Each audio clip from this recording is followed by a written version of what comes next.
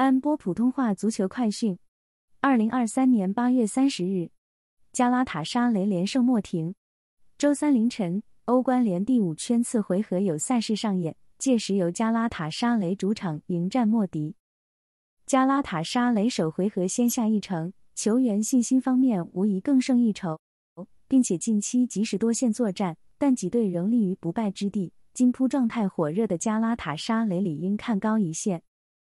加拉塔沙雷上赛季夺得联赛冠军，经济志在卫冕的他们开局尚可，两轮战罢，加拉塔沙雷取得一胜一和战绩暂积四分。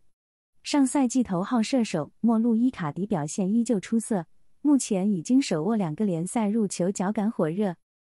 就近况而言，加拉塔沙雷的状态十分稳定，自七月底正赛开打以来。球队各项赛事便立于不败之地，目前更是处于三连胜甜蜜期。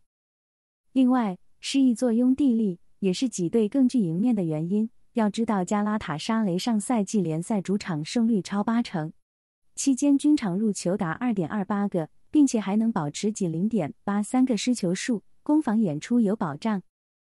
综上所述，金扑坐拥主场优势的加拉塔沙雷有望双杀莫迪。阵容方面，前锋为费特沙夏因伤缺阵。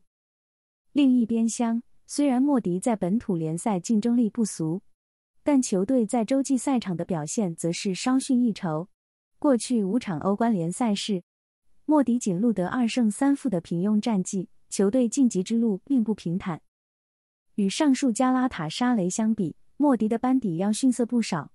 阵中包括奥拉拜连、希特陈等人，大多为本土球员。全队总身价远低于前者。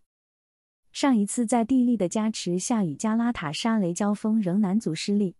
金扑还要异地挑战对方的魔鬼主场，莫迪确实难有作为。